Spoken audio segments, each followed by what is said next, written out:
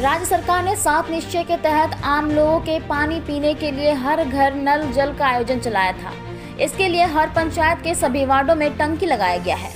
वहीं नल जल योजना के लिए बनाए गए टंकी को वार्ड सदस्य ने अपने निजी मकान समझ बैठे हैं। ऐसा ही मामला सिरोती पंचायत का सामने आया है।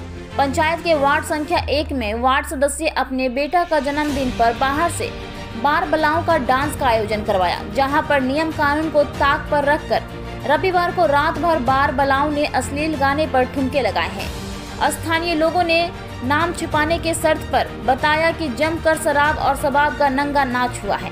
लेकिन ना कोई प्रशासन आया और ना ही किसी प्रकार का विरोध हुआ।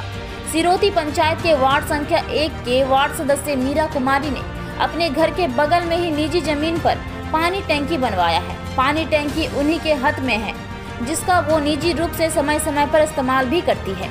लेकिन हद तो तब हो गई जब अपने बेटे का जन्मदिन मनाने के लिए सरकारी संपत्ति का दुरुपयोग कोरोना काल में किया है। इस दौरान न ही कोविड नियम का पालन किया गया और न ही सामाजिक दूरी का ख्याल रखा गया। वार्ड सदस्य के पति रवि कुमार अपने संगी साथियों के साथ अश्लील गानों पर ठुमके लगाते देखे गए। इस संबंध में प्रखंड विकास पदाधिकारी उषा कुमारी ने कहा कि मामला संज्ञान में आया है। पूरी मामले की जाँच की जा रही है।